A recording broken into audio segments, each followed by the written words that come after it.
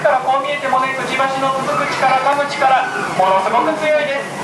えペンギンのすぐそばに立ったり触ろうと手や顔を近づけたりされますとびっくりしてペンギンが皆様をつついてしまう場合がございます。一回噛まれただけでも結構簡単に怪我しますんでね、えどうかお散歩の最中はペンギンのすぐそばに立ったり触ろうと手や顔を近づけたりといったこと絶対にしないようにお願いいたします。えそしてペンギンを眺める際には、え最低でも1メートル以上あ両手いっぱい広げた長さは最低でも離れていただいて、えーそのペンギンを眺めてあげてください、ね、お休みということで、えご家族でいらっしゃるお客様たくさんいますけども、えーお子様とうっかりペンギンに近づきすぎていかないように、えどうか皆様のご配慮の方もどうかよろしくお願いいたします。